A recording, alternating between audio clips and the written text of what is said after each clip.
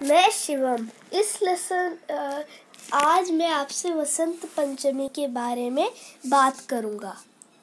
वसंत पंचमी हिंदी पंचांग के अनुसार माघ महीने की पंचमी तिथि को मनाया जाता है। इस दिन को माँ सरस्वती जयंती के रूप में बनाते हैं। बड़े पैमाने पर पूरे देश में माँ सरस्वती की पूजा अर्चना की जाती है।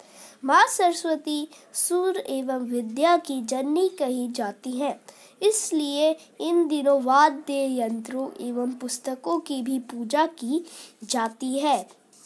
वसंत पंचमी के दिन से वसंत ऋतु का प्रारंभ होता है। वसंत को ऋतुराज कहते हैं। इन दिनों पेड़ पौधों पर फूल खिल जाते हैं और इस मौसम में ना बहुत ठंडक होती है, ना ही बहुत गर्मी। इससे मौसम सुहाना हो जाता है।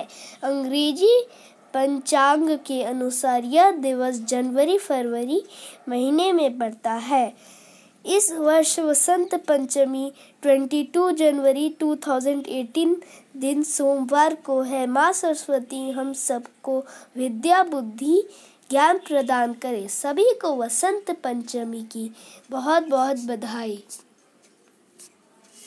Thanks like share and subscribe